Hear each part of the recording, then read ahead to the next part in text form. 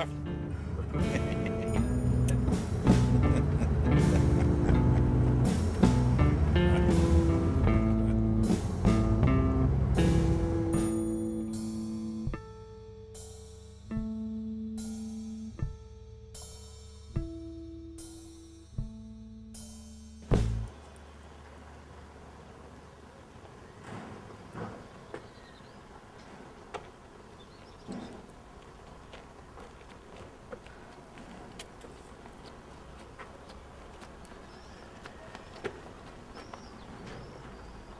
For me, it's the uh, I wanted a very simple, uh, simple way. Uh, so black and white, uh, like the uh, straight, uh, straight way to express the, the movie.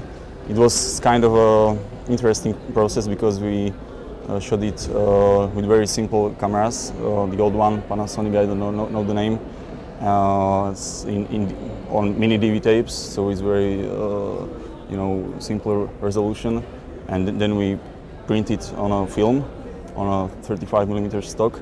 Uh, but uh, each frame was divided into four 8 millimeters pieces, so it was like we printed on a 8 millimeter film uh, because we so it's very unusual way, uh, but it has certain certain look. Uh, uh, up, uh, I, I wanted to achieve abstract uh, abstract look in the in the places where you wouldn't uh, maybe uh, ex- accept uh, maybe where it, it is not so common because but I don't know I just felt like the black and white is the right way to show the movie so it was black and white.